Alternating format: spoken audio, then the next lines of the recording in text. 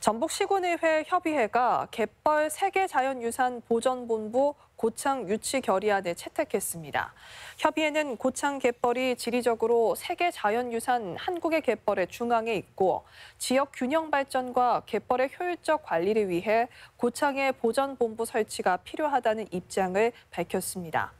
채택된 결의안은 기획재정부와 해양수산부에 전달할 예정입니다.